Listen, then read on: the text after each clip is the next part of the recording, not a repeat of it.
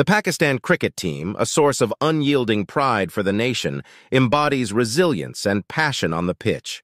Amidst the fervor of the cricket-crazy nation, the team's journey has been a roller coaster of emotions. From the iconic triumphs in the 1992 Cricket World Cup to moments of heartbreak, they've etched their story into the annals of cricketing history. In the face of challenges, Pakistan's cricketers have showcased remarkable talent. Bowlers with lightning pace, batsmen with unwavering determination, and fielders with unmatched agility have become the stars of the game. The fervent support from fans, echoing in stadiums from Lahore to Karachi, fuels their spirit, turning every match into a battle of national pride.